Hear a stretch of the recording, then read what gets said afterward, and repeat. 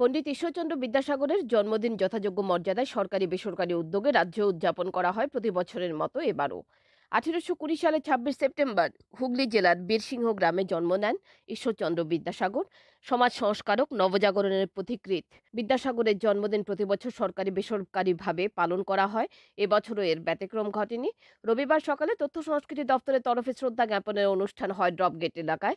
সেখানে উপস্থিত ছিলেন দপ্তরের কর্মকর্তা এবং রাজ্যভিত্তিক সাংস্কৃতিক কমিটির সদস্যরা।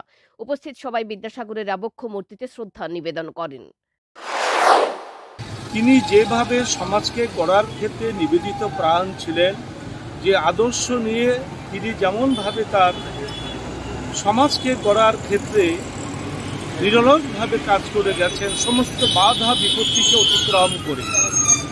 তিনি যে সময়ে সমাজ সম্পর্কে কাজ করেছিলেন, সেই সময়ে সমাজটা অনেক কঠিন ছিল।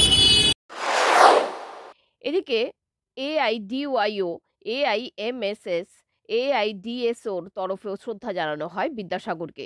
এদিন সকালে আগরতলা পোস্ট অফিস চৌমোহনীতে হয় অনুষ্ঠান। নেতৃত্ব এদিন বলেন, বিদ্যাসাগর যিনি আধুনিক শিক্ষার স্বপ্ন দেখিয়েছিলেন, দেশ স্বাধীন হবার এত বছর পরও তা পূরণ হয়নি। উপস্থিত ছিলেন ছাত্রনেতা মৃদুল কান্তি সরকার সহ অন্যান্যরা।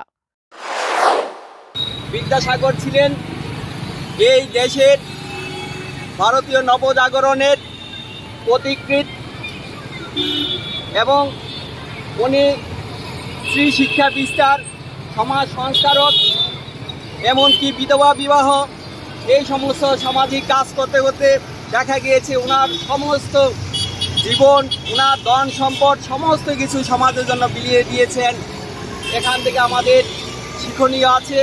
পাশাপাশি বিদ্যাসাগর চেয়েছিলেন ধর্মনিরপেক্ষ গণতান্ত্রিক,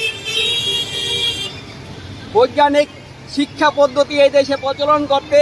কিন্তু আমরা দেখছি রিপোর্ট চ্যানেল দিন রাত